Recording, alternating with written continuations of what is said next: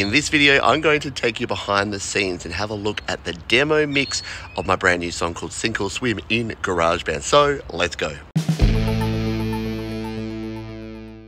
Hi, my name is Pete, and this is Studio Live today, where my goal is to help you create, record, and release your best music. And one of the ways I do that is by making music myself and showing you how easy it is to get music creation done, even if you're just using your iPhone. So, in this video, I'm going to give you a tour of my brand new project in GarageBand on my iPhone that I've been mixing as I've been walking around here in nature. And then you can give me your feedback. So, please jump down in the comments after you've taken a listen to this one. Let me know what you think. So, here's a quick look at the project. We've been working on this as part of GarageBand Weekly in GarageBand iPad. Now, I'm here on my iPhone, and one of the great things about being a mobile creator is the ability to take your project on the road, which is what we're doing right now. So, at the top here, we have these wonderful drums that have been created by Jade Star, and you can check out how we put those together in the previous episode, link down in the description. We've got some guitars, we've got some bass, we've got some vocals, and uh, Jade's even added some backing vocals down the bottom there as well. So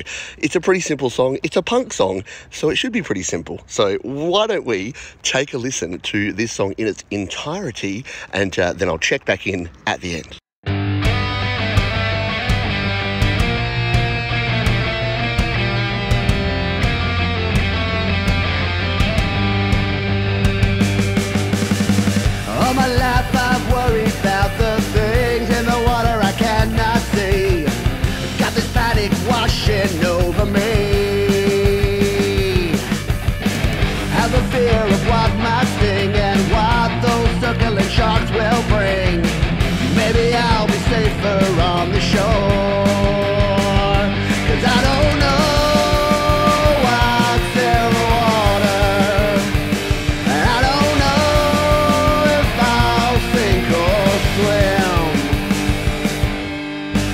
Talking on the news today, telling me what to think and say.